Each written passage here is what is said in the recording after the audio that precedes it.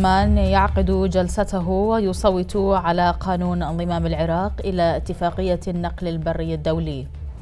المحمدي قرار البرلمان بإخراج القوات الأجنبية غير ملزم للحكومة. النائب عن تحالف القوى أحمد مظهر ينفي مناقشة قضية الإقليم السني في دبي. مجرة صلاح الدين تؤكد استمرارها في تقديم المساعدة الإغاثية للنازحين.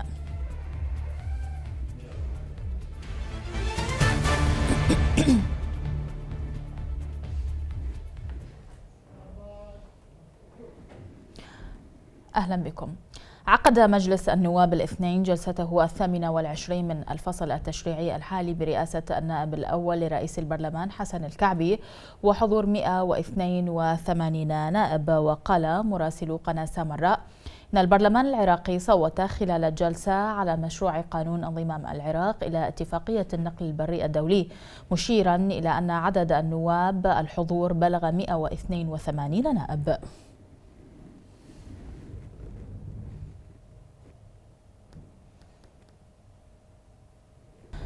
طالب زعيم ائتلاف الوطنية اياد علاوي من ساعد بالقبض على الارهابي أبو بكر البغدادي بالكشف عن العصابات التي هاجمت قاعدة بلد الجوية. وقال علاوي في تغريدة على تويتر إن الإصابات التي نتج عنها الاعتداء الآثم الذي استهدف قاعدة بلد كانت في صفوف ضباط وجنود عراقيين. وأضاف أن العصابات الإجرامية التي تقف وراء ذلك تريد إثبات وجودها على حساب دماء العراقيين واستقرارهم وعلى السلطة الغائبة ومن ساعد بالكشف عن مكان البغدادي أن يكشف هوية تلك العصابات ومن يقف وراءها. اعتبر الملك الأردني عبد الله الثاني الاثنين أن استقالة رئيس الوزراء عادل عبد المهدي عادت الأمور خطوتين إلى الوراء مؤكدا أنه يؤمن بقدرة الشعب العراقي على المضي قدما نحو الضوء في نهاية النفق. وقال الملك الأردني في مقابلة متلفزة أؤمن بالشعب العراقي وقدرته على المضي قدما نحو الضوء في نهاية النفق. العراق كان يسير بقوة في اتجاه إيجابي خلال العامين الماضيين وأعتقد أن رحيل الحكومة عدنا ربما خطوتين إلى الوراء. أثق بالشعب العراقي وقدرته على المضي قدما نحو الضوء في نهاية النفق. العراق كان يسير يسير بقوة في اتجاه إيجابي خلال العامين الماضيين. أعتقد أن رحيل الحكومة أعادنا ربما خطوتين إلى الوراء. لدي كل ثقة بقدرة القادة العراقيين على العودة نحو الاتجاه الإيجابي. علينا العمل بعزم للتأكد من أن الطائفية لن تكون قضية قضية نواجهها ولكن مرة أخرى سيكون هاجسي خلال المباحثات التي سأجريها في أوروبا هو ما شاهدناه خلال العام الماضي. من من عودة وإعادة تأسيس لتنظيم الدولة الإسلامية. ليس فقط في جنوب وشرق سوريا بل في غرب العراق أيضا. إن كان هناك انقسام في المجتمع العراقي كما هو الحال اليوم؟ أنا متيقن أن القادة العراقيين سيعملون من أجل تخطيه علينا التعامل مع عودة ظهور تنظيم الدولة الإسلامية وهذا سيشكل مشكلة لبغداد. ويجب علينا أن نقوم بمساعدة العراقيين للتصدي لهذا التهديد وهو تهديد لنا جميعا ليس فقط في المنطقة بل هذا وأكدت النائب عن ائتلاف دولة القانون علي الصيف الاثنين أن ائتلافها لن يعلن حتى الآن موافقته على بيعة جديدة لرئيس الوزراء المستقيل عادل عبد المهدي مشيرة إلى أنها طرحت فكرة تمثلها شخصيا بالإبقاء على عبد المهدي. للفترة الانتقالية محددة بزمن لحين إجراء انتخابات جديدة. وقالت صيف في تصريح صحفي أنه من منطلق الشعور بالمسؤولية وبما يمر به البلد من ظروف أمنية واقتصادية واختلاف كبير بين القوى السياسية فيما بينها وكذلك رفض الشارع المحتج على أي اسم تطرحه الكتل السياسية. كبديل لعبد المهدي فقد طرحت فكرة الإبقاء على عادل عبد المهدي للفترة الانتقالية. التي يجب أن تحدد بزمن لا يتجاوز عام واحد لحين إجراء انتخابات جديدة.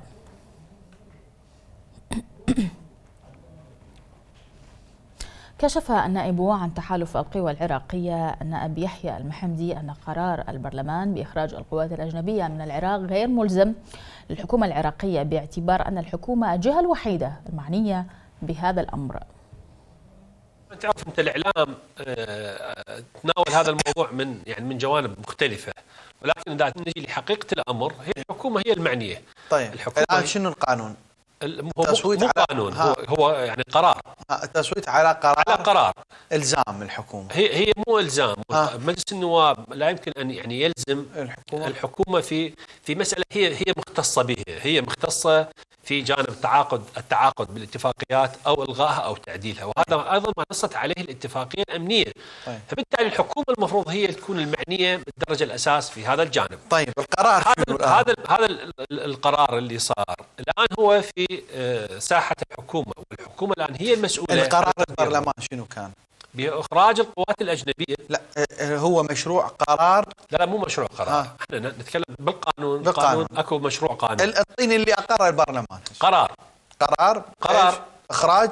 قرار هو إخراج القوات الأجنبية إيه. من العراق إيه؟ وأعطى صلاحية للحكومه ها. أعطى صلاحية للحكومه يعني هو في نص يعني الاتفاقية. لا نصيغها بغير طريقة ممكن. قرار بتخويل الحكومة العراقية. كما نفى النائب عن تحالف القوى العراقية النائب يحيى المحمدي وجود اجتماع عقد في دبي بحضور عدد من الشخصيات السياسية للمحافظات الغربية وشخصيات أخرى لإنشاء إقليم سني. مشيرا إلى موضوع الإقليم مكفول دستوريا ولا حاجة للذهاب إلى دول الجوار أو الخليج لإنشاء إقليم من هناك. يعني شوف اولا موضوع اجتماع في دبي أو بالإمارات هذا غير موجود ابدا اطلاقا. وإذا كان السيد الرئيس في في الإمارات أو بعض الشخصيات ف أنا أنفي بأنه يجتمعون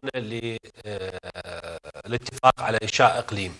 إذا أكو اتفاق فيكون داخل العراق ما يكون خارج العراق لا للامارات ولا السعودية ولا لقطر ولا أي دولة أخرى. هذه اولا. النقطة الثانية موضوع الأقاليم هو موجود بنص الدستور وأعتقد هو موضوع دستوري.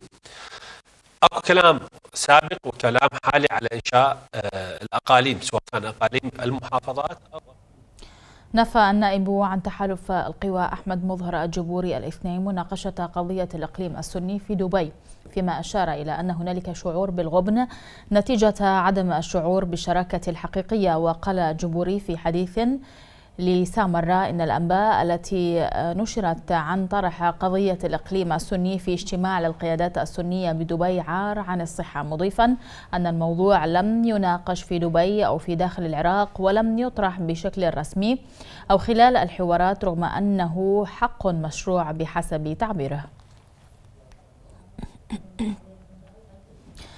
بين النائب أحمد الحاج الاثنين أن الاتفاقية الصينية العراقية مخالفة للدستور العراقي مبينا أن البرلمان مطالب باتخاذ الإجراءات اللازمة. وقال الحاج في حديث صحفي أن تنفيذ الاتفاق الصيني العراقي مخالف للدستور حسب المادة 110 والتي تخص السلطات الاتحادية بالاختصاصات الحصرية. وبين أن مجلس النواب مطالب باتخاذ الإجراءات الضرورية بشأن هذه الاتفاقية لا سيما وأن الفقرة أولا بالمادة أعلاه تنص على أن رسم السياسة الخارجية والتفاوض بشأن المعاهدات والاتفاقات الدولية وسياسة الاقتراض يتوجب التوقيع عليها في البرلمان.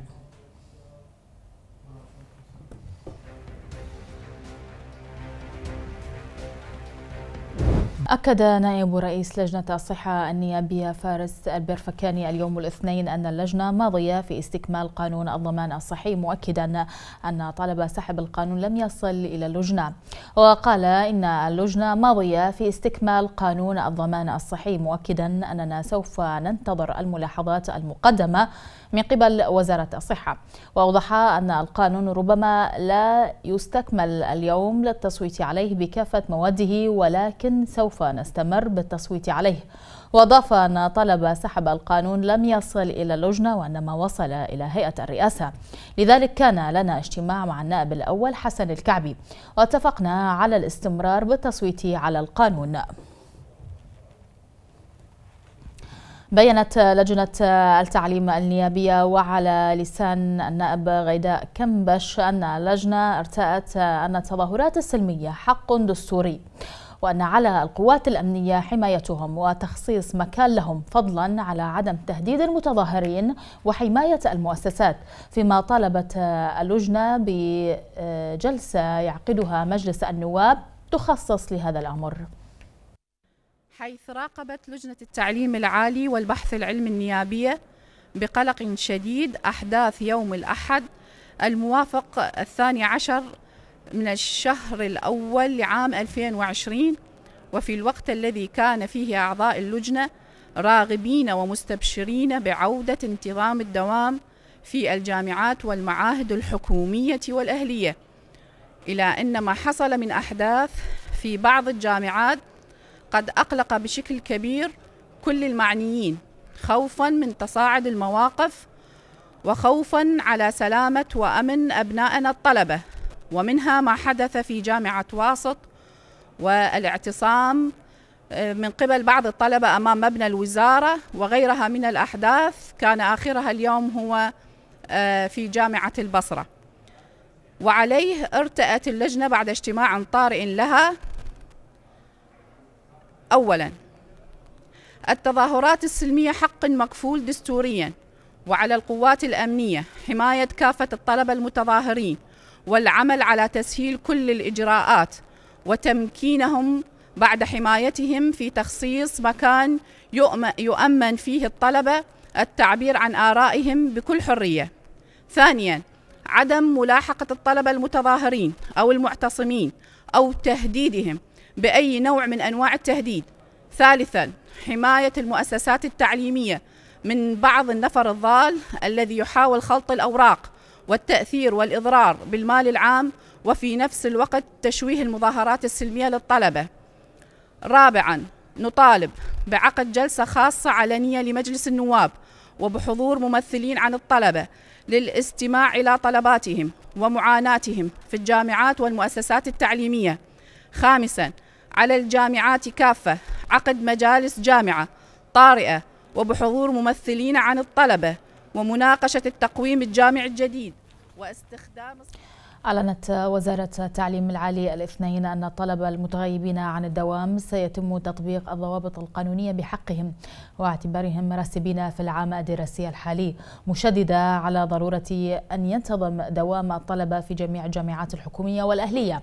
وقالت الوزارة في بيان إن التعليم العالي تتابع موضوع غياب الطلبة لكنها لا تستطيع إرغام الطلبة على الحضور وتكتفي باتخاذ إجراءات إدارية وفقا للضوابط القانونية والتعليمات الامتحانية الجارية.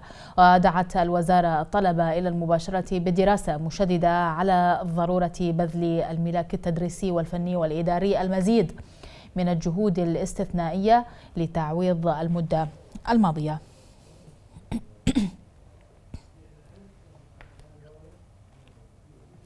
كشفت هيئة النزاهة الاثنين عن صدور أمر استقدام بحق وكيل وزير الصحة للشؤون الإدارية والمدير العام لدائرة صحة محافظة نينوى الأسبقين لتسببهم بإهدار المال العام.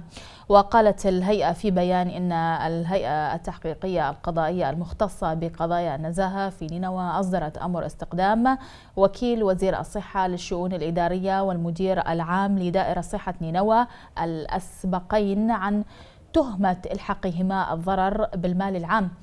من خلال إنشاء بناية وجمعية إسكان مرضى الثلاسيميا داخل مستشفى ابن الأثير التابع لوزارة الصحة.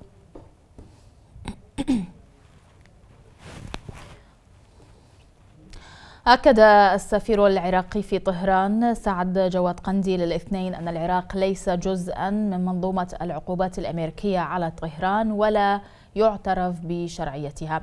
ونقلت مصادر صحفية عن قنديل قوله أن العراق ليس جزءا من منظومة العقوبات الأمريكية على إيران ولا يعترف بشرعيتها ولا تمتلك هذه العقوبات غطاء قانونيا على مستوى القانون الدولي باعتبارها عقوبات أحادية الجانب وحول حجم التبادل التجاري الحالي بين العراق وإيران أوضح قنديل أن حجم التبادل في الوقت الراهن بين إيران والعراق يقارب الاثنى عشر مليار دولار. وقادة البلدين اتفقوا على زيادة هذا المستوى ورفعه إلى 20 مليار دولار.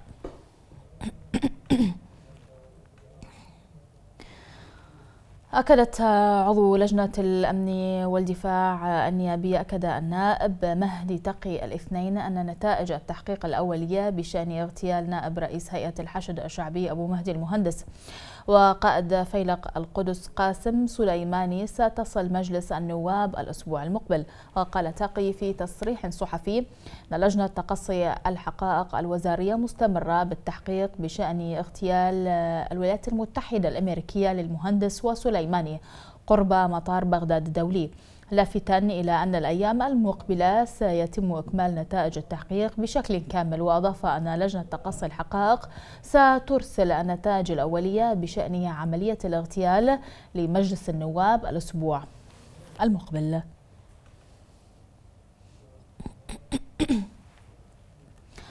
أمهل متظاهرو ذي قار اليوم الاثنين الحكومة مدة أسبوع لتنفيذ المطالب الشعبية مهددين؟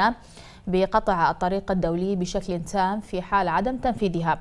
وكتب المتظاهرون بيانا جاءت فيه ستة نقاط وهي كالتالي أولا محاسبة من قتل شبابنا وخصوصا مجزرة الناصرية.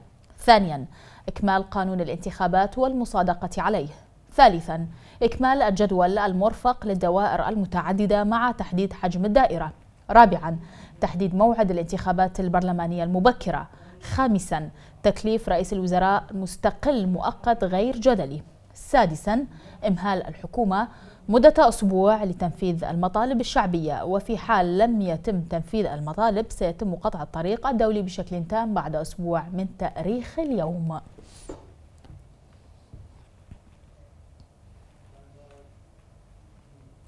بعد مئة يوم من انطلاق الاحتجاجات الشعبية في العراق تتواصل الاعتصامات في العاصمة بغداد ومحافظات الوسط والجنوب بينما يستمر الإضراب العام عن الدوام في أغلب الجامعات والمدارس وعدد من الدوائر الحكومية.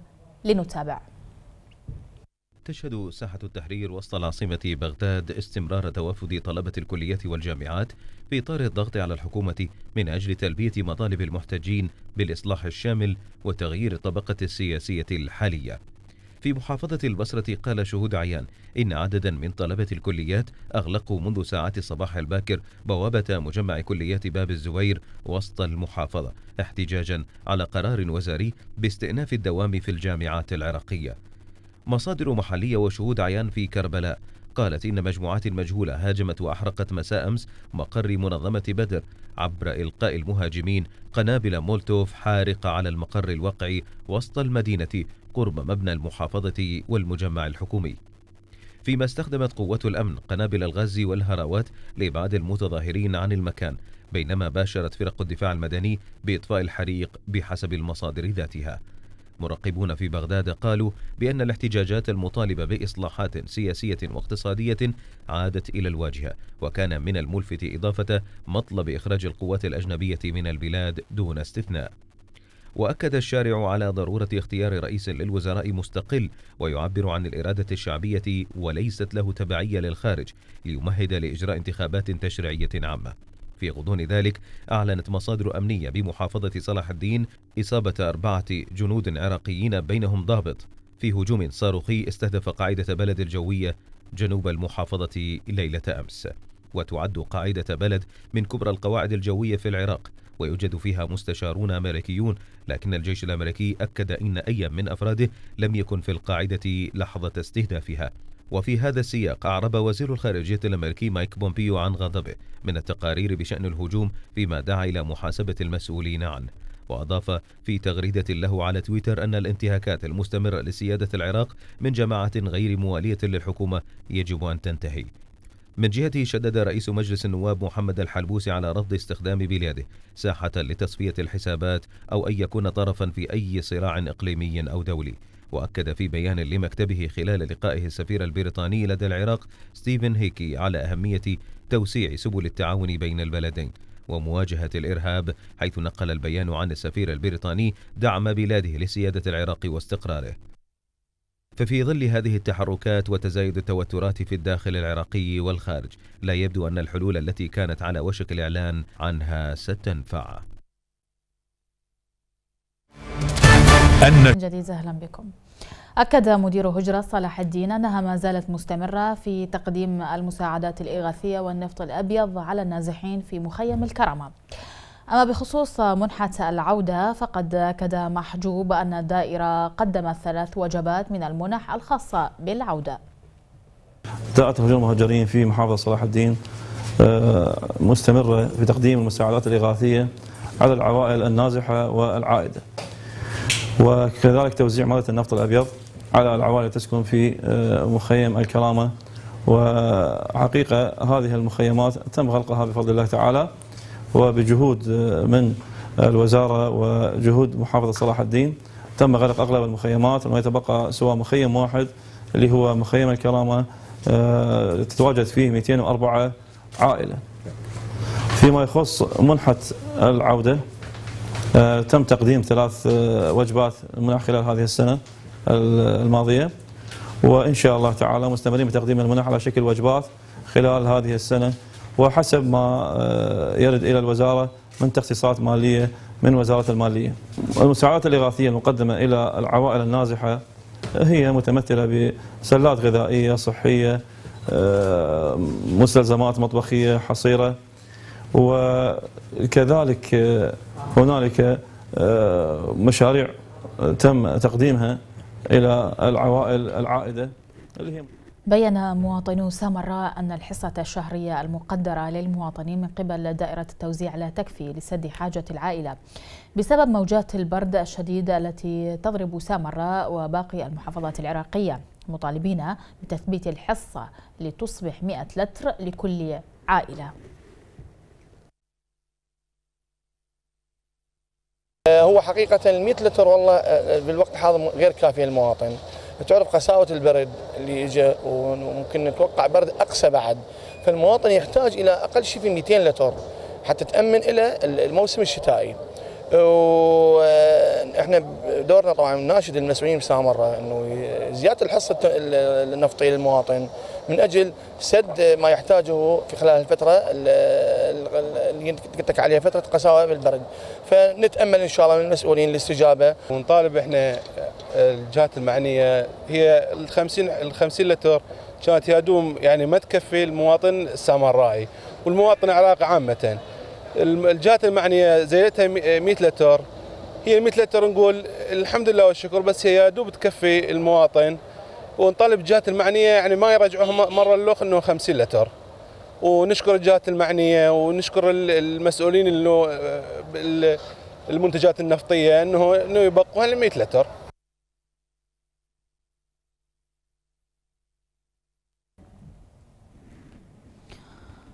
أكد مدير توزيع المنتجات النفطية في سامراء كمال صالح حمد أنه تم تعديل حصة المواطنين من مادة النفط الأبيض لتصبح 100 بدلا من 50 لتر فيما نوه حمد إلى أن الذين استلموا حصتهم عبر البطاقة رقم 8 يستطيعون استلام المتبقي من حصتهم لمن استلم 50 لترا فقط. تم على بركة الله تعديل حصة المواطنين من النفط الأبيض من 50 لتر إلى 100 لتر. وبموجب البطاقة الوقودية ثمانية وبالجهود التي بذلها الأستاذ آه، عمار آه، جبر آه، محافظ صلاح الدين وبموافقة الأستاذ حسين طالب وكيل مدير عام شركة توزيع المنتجات النفطية وبالجهود الحثيثة اللي بذلها الأستاذ سامر عباس محمد مدير هيئة التوزيع الغربية. إذا أصبح الآن لزاما علينا أن نعوض أصحاب البطاقات التي استلمت 50 لتر نعوضها ب 50 لتر أخرى ومن نفس المنفذ التوزيعي اللي استلم من عنده بالبداية. هذا إجراء يعتبر إجراء رسمي واتخذنا الإجراء بهذا الموضوع وإن شاء الله تعالى راح نبدي بعملية توزيع المنتج المنتوج المنتوج النفط الأبيض على العوائل بواقع 100 لتر لكل عائلة وبموجب البطاقة الوقودية. هو من سامر الحضارة إلى البصرة الفيحاء وتحت هذا الشعار فقد أقام صحفي سامراء مجلس عزاء على أرواح زملائهم شهداء الصحافة المراسل أحمد عبد الصمد والمصور صفاء غالي والذين استشهد برصاص الغدر في محافظة البصرة. وتوافدت إلى مجلس العزاء جموع من المسؤولين المحليين والقادة الأمنيين والمواطنين ليجسدوا حالة من التعاطف واقتسام الحزن مع ذوي ضحايا الكلمة.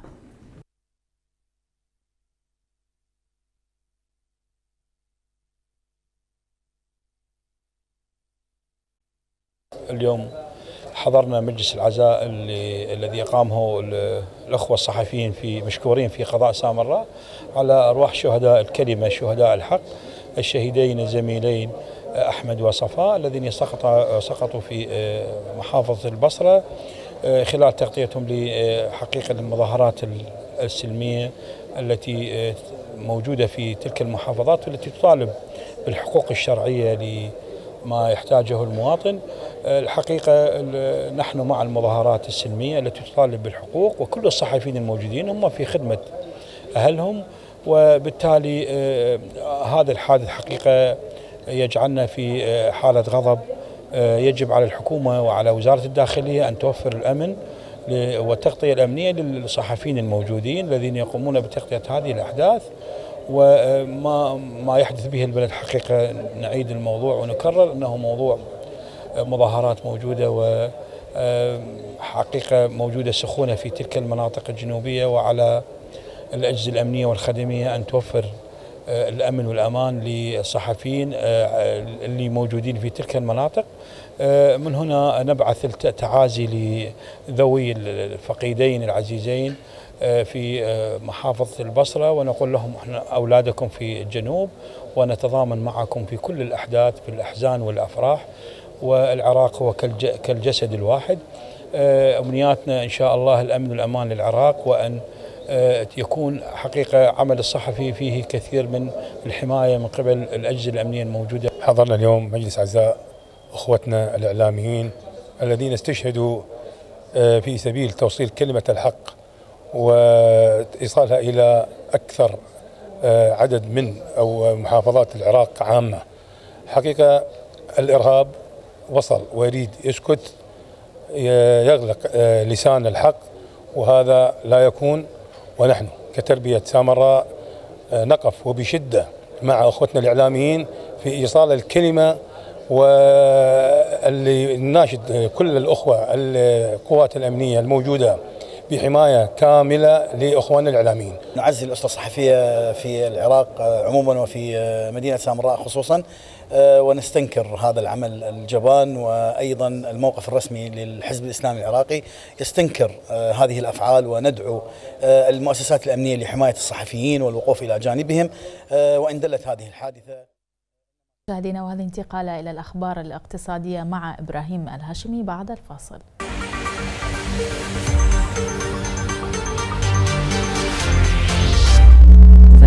وسن. شكرا لك. أهلا بكم. نشرة اقتصادية جديدة والبداية من العناوين.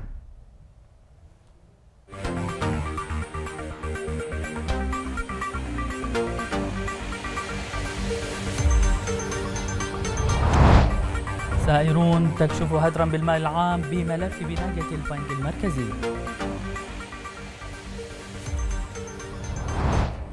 وزير النفط نخطط لإنتاج 8 مليون برميل يوميا خلال العقدين المقبلين.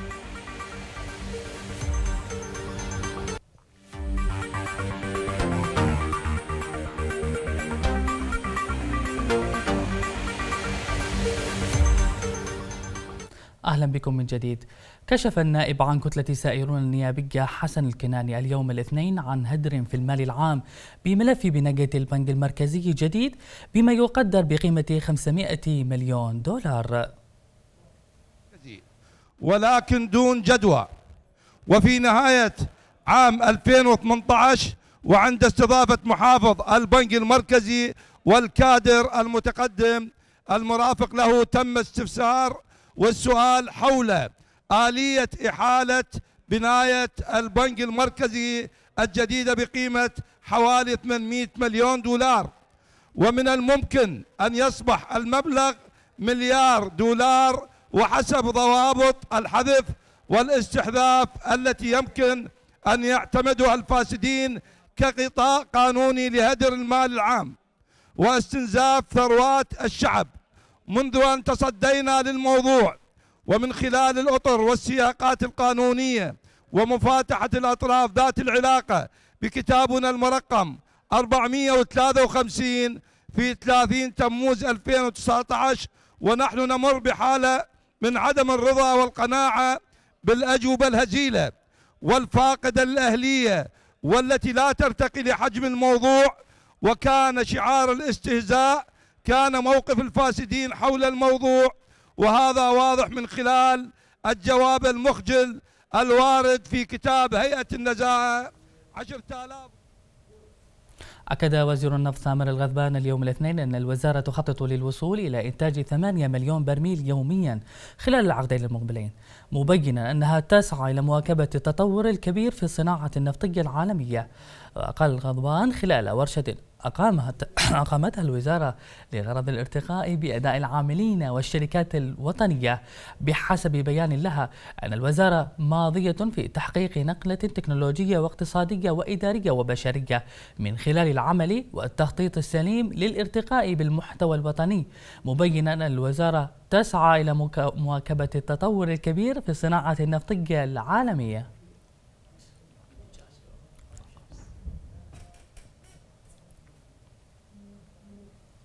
كشفت وزارة الزراعة العراقية عن خطة لإدخال الأرز المحلي في البطاقة التموينية. وقال المتحدث باسم الوزارة حميد النايف أن الوزارة اقترحت إدخال الأرز المحلي كمقايضة ضمن مفردات البطاقة التموينية وهي خطة نجاح واسعة. وحقيقية لم تحدث منذ عدة سنوات. ودعا المسعودي وزارة التجارة إلى ضرورة تهيئة أماكن من أجل استيعاب الكميات المنتجة من الأرز العنبر أو الياسمين أو الأصناف الأخرى.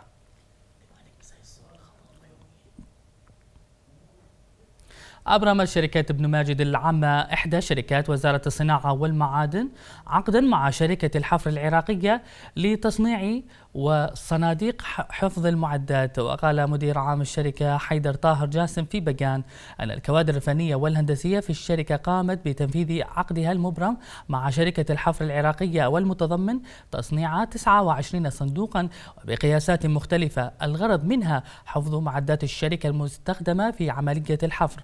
وأضاف جاسم أن نسبة الإنجاز بلغت 55% وتشمل عدة مراحل منها سحب الخامات وحسب نوعية المعادن المطلوبة.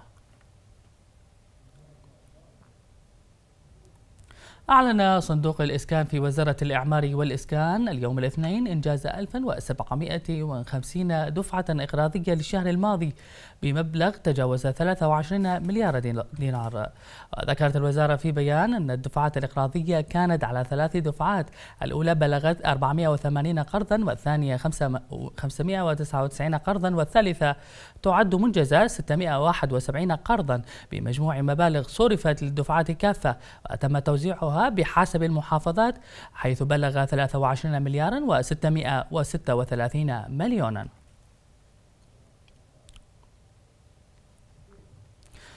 أخيرا أظهرت بيانات من أكبر اتحادات صناعة السيارات في الصين. اليوم الاثنين أن مبيعات السيارات في البلاد انخفضت بنسبة 8.2% في العام الماضي. وأضاف اتحاد منتجي السيارات أن مبيعات السيارات في أكبر سوق في العالم نزلت إلى 0.1% في ديسمبر الماضي مقارنة بها قبل عام. والمبيعات متراجعة حاليا للشهر الثامن على التوالي. نهاية النشرة حميد المظهور معه الحقيبة الرياضية لكن بعد الفاصل الاقتصادي دمتم بخير.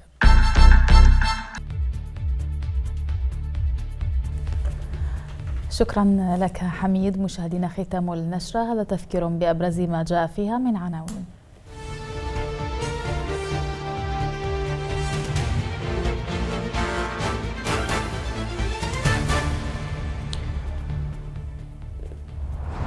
البرلمان يعقد جلسته ويصوت على قانون انضمام العراق إلى اتفاقية النقل البري الدولي. المحمدي قرار البرلمان بإخراج القوات الأجنبية غير ملزم للحكومة.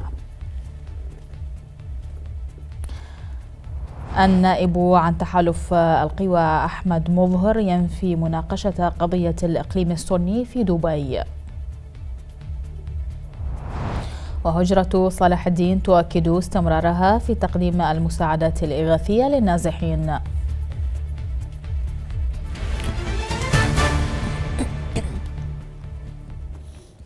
النشرة انتهت. شكرا لكم. وإلى اللقاء.